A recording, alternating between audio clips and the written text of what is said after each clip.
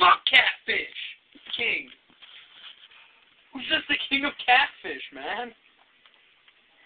Some people have really, really weird names on PlayStation Network. I'm gonna get a double barreled shotgun and fuck people up the ass.